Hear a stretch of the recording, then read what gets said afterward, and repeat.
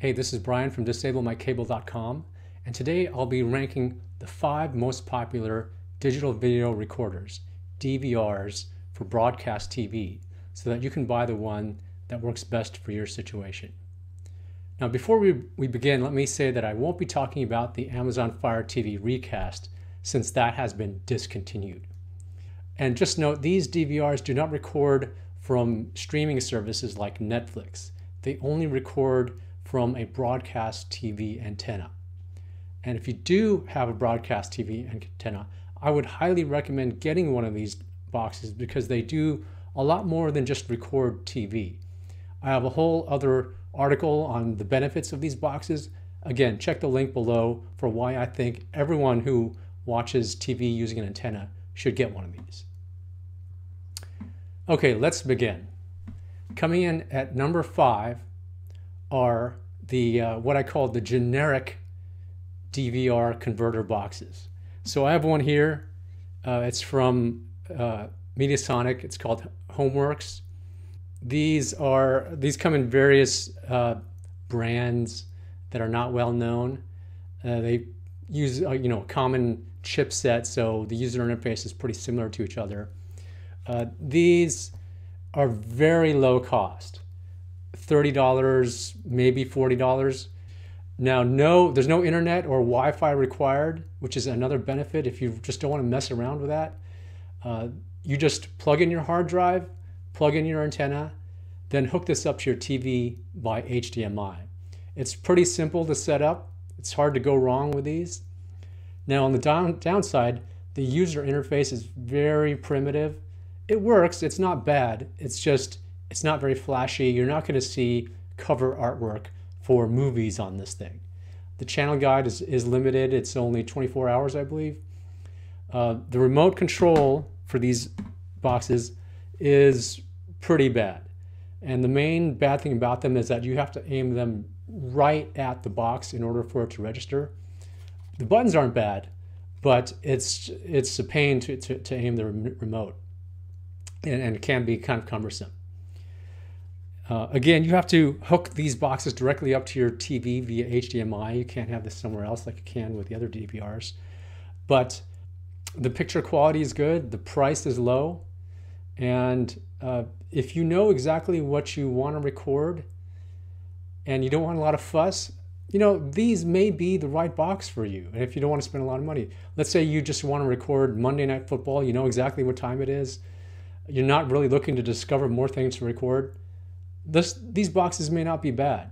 They're, they're very uh, bare bones, but they get the job done. As an added benefit, you can uh, take the hard drive and unplug it from this box and plug it into your computer, and your computer will recognize your recording. So that is kind of a, a benefit that the other, a lot of the other DVRs don't have. You can kind of share recordings uh, with your computer and download them to your computer. So that's kind of cool. But these are really um, the, the low end, uh, very few bells and whistles. Uh, the user interface is very primitive, but it still might have a place for some people. All right, coming in at number four in my list of best DVRs is the TiVo Edge for antenna DVR. Now, TiVo is known for great DVRs for uh, cable TV. This is their DVR for broadcast TV. Now it's got a great tuner, it brings in a lot of channels. Uh, it's got a great user interface, which TiVo is has always been known for uh, its great user interface. It's got a, a really a nice remote control, works really well. Everything is placed intelligently. It's, uh, the commercial skip works really well when it's available on shows that have it. Not all shows have it, but it works well when it's available. Voice search also works really well. So again, it's it's TiVo has that, that great user interface from years of refinement uh, in their other DVRs for cable TV. Uh, the the Edge for antenna has Wi-Fi, so you don't have to run Ethernet cable to this box, and it's got good picture quality. Now there are some major caveats with this box, which is why I didn't rank higher. First of all, like the uh, previous boxes I've uh, talked about, it does need to be hooked up directly to your TV by HDMI. It only comes with two tuners. Uh, there is no Roku app, so it's not really easy to watch on multiple TVs. Uh, the channel guide does have a fee. Now you can do a lifetime buy on that channel guide, but it's pretty expensive. Um, and when you do look at the user interface and upcoming uh, shows, there are streaming uh, channels mixed in, paid streaming channels mixed in. So it's kind of hard to find new broadcast TV shows and movies to record because so much paid content is mixed in. It's pretty big and bulky, and um, it's not great for watching uh, recordings outside your home because I found that uh, some of the recordings just would not play outside of my home network. So it's not really good for watching on other TVs. It's not really good for watching outside your home. It's good if you want to watch on one TV, but uh, that's so it's better. You know, has a, a nicer interface than the cheaper DVRs, but it's also a lot more expensive. This is the most expensive DVR that I'm uh, reviewing. It does have the hard drive included, um, but it's still it's even accounting for that. It's very expensive and just not being able to watch outside your home is kind of a big minus for me, I think, and for a lot of people. And the fact that it has to be hooked directly to your TV is something that's constraining. But if you only have one TV and you are a big fan of TiVo, then you know, go for it. It's it's a it's a good box. It has uh, the, the user interface is good, like I said. Okay, next on my list at number three are the SiliconDust HD Home Run DVRs namely the Flex and Scribe DVRs. I have a Flex right here, and it requires an external USB hard drive.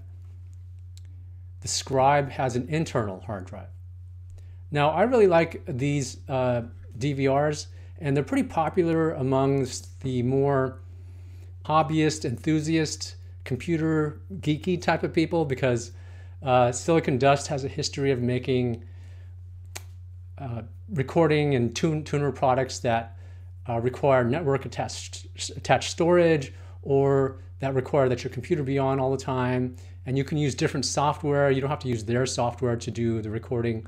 So it has kind of a geeky appeal. Like if you go on the, the forums or the Facebook groups where they're really into video, a lot of people love the HDHomeRun boxes because they, they can do some uh, things like that, like use their own software or use Plex with it instead of the included software. So it has that appeal. Now, for a long time, I, I, really didn't recommend these boxes because they were a little bit harder to use, but the Flex and the Scribe are pretty easy to use with a few caveats. So I do uh, have them on my list because there's, there's some good things about these boxes. First of all, uh, the user interface I really like. It gives you a grid of upcoming TV shows, movies, and sporting events that do not show any paid content. So you just see a grid of upcoming movies, for example, and it's a great way to discover new content. I love that feature in this box.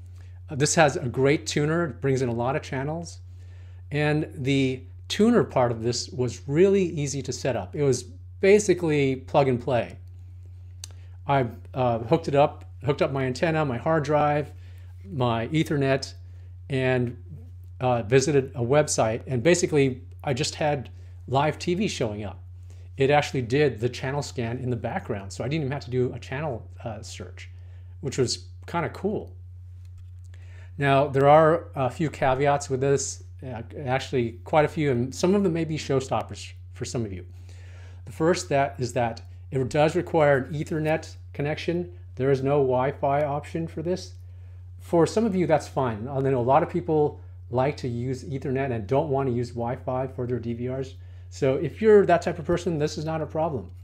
But if you're like me and you want to put this DVR near your antenna and not near my router, then uh, this is not the DVR for you.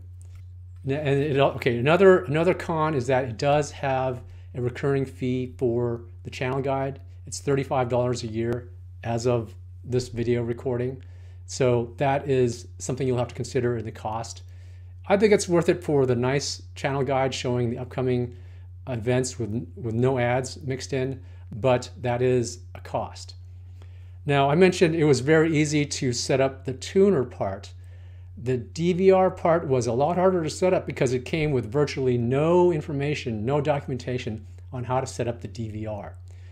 I had to basically Google for it online and I had to figure out how to purchase the annual subscription. You get an email with a code, you enter that code in a certain web page that you visit, and that enables the DVR. Once it's set up, it's very easy to use. I really like it actually, but it was really hard to set up. And if they would just include a sheet of paper that said, go to this website and here's how to set up the DVR, that would have solved 90% of the problem. But they didn't do that as of the, this recording, or at least the unit I got it had no such information. So that's something they could improve a lot. Another big caveat with this DVR is that you can't watch your recordings away from your home network. You can only watch recordings at home. That's a huge issue. Obviously, uh, if you travel and want to watch your recordings on the road, this is not the box for you. But if you're a little bit more geeky, you want to experiment with using different recording software like Plex, um, this could be really cool. I love how small it is, and it does work great once you get it set up. Okay, coming in at number two are the Tablo line of DVRs. Now, these DVRs used to be my number one pick, but they got rid of the lifetime deal for the channel guide fees. Now you have to pay annually for the channel guide. And I think it's a it's still a good deal, but it adds a lot to the cost of this product. And if you really hate fees, that could be a showstopper, unless you want to go with um, a much more limited channel guide. I think the channel guide is worth it because like the HDHomeRun, it gives you a grid of upcoming movies, TV shows, and sporting events without ads and without streaming services. And I personally have discovered a lot of great things to record, especially old movies and some not that old movies that I never would have found if I didn't have this display. So that is definitely worth something and it really enhances the value of these DVRs. So you're not just recording things that you know that you want to record, you're actually finding new content that, that you can record. The, the Tablo also has Wi-Fi and it has a great Roku app. So you can actually put this uh, near your antenna, no matter where your antenna is. You could put this in your attic if you want. It doesn't need to be near your TV. It doesn't need to be near your router. And it's a great way to not have to run coax cable to five different TVs in your home. Just put this in your attic near your antenna and use uh, the Tablo app on your Roku to watch live TV and watch your recordings. So it's almost like a wireless antenna interface for all your TVs, a whole home interface for all, all your TVs. It's not just a DVR. You can also watch your recordings and live TV away from home, which is a great feature. And it's pretty easy to set up and use. Now, I've already mentioned the main con, which is the uh, no lifetime deal for the channel guide or the channel guide fees. Right, that is a biggie, and that could be a showstopper for some people. The other downside of the Tablo is that out of the DVRs that I've tested, it had the worst tuner. It wasn't able to bring in some of the channels that I normally watch, like all the other DVRs would. Now, it still has a good tuner. I'm not saying it's bad. It's just not as good as the other tuners in, in the DVRs that I've tested, which is too bad because there is uh, there is one channel that I really like, and I wasn't able to get it on the Tablo, so that was kind of a bummer for me. But I I still think the Tablo is a great uh, DVR. It's easy to use. A lot of people use it. Uh, Tablo isn't going anywhere. They're not making other products. They they just specialize in DVR. So they are dedicated to this product, and I believe it's going to be around. So it's definitely a solid choice and which is why it's my number two pick for the best broadcast TV DVR. Okay, now on to my pick for the number one best broadcast TV DVR. And my pick is the AirTV. This comes in two flavors, AirTV 2 and AirTV Anywhere.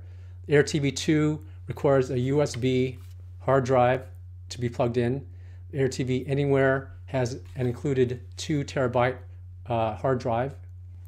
I love this DVR. If, if you if you like the Amazon Fire TV Recast, you'll like this DVR because it, it, this has a really slick user interface. Kind of reminds me of the Recast.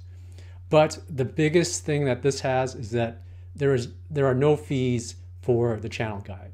So if you hate fees and hate paying, and that's probably one of the reasons why you're on broadcast TV, AirTV uh, is great because it has no fees. You do have to uh, sign up for an account with Sling because that's the app that you uh, use to watch your, your recordings, but you don't have to pay for a subscription. You just got to sign up. So that's not bad. This has a great tuner. It brought in all the channels that I watch. It has Wi-Fi. So like the Tablo, you can plug this in anywhere. Uh, you could you could plug it into your antenna in your attic, and this does not need to be near your TV. Doesn't need to be near your router. It does uh, allow you to watch your recordings away from home using the Sling app, and that works really well. So this is just a great over uh, uh all-around uh, DVR. It, it, it checks off a lot of the boxes that I was looking for. Now, it's not perfect though because it does not show the nice grid of upcoming movies and TV shows like the Tablo uh, recorders do. Uh, it, it has a grid, but it mixes in streaming services, which is probably why there's there are no uh, fees for the uh, channel guide. It's kind of like there's ads sprinkled in, so it makes it harder to discover new things to record or uh, old movies that are on at 2 a.m. They're harder to discover with the AirTV DVRs. If you want to do that, I would recommend the Tablo. But if you don't want fees, this is really a great DVR. It was easy to set up, it's easy to use. You can watch your recordings away from home. It's got a lot to like about it, and it worked really well during my testing. All right, so that's my rundown of the five most popular DVRs. I hope you enjoyed this video. I hope this video was helpful for you. Remember to check out my site for more information, disablemycable.com, where I have reviews of all of these DVRs in much more detail. So if you have more questions, check out the links below. Please like this video and subscribe, and I'll see you next time.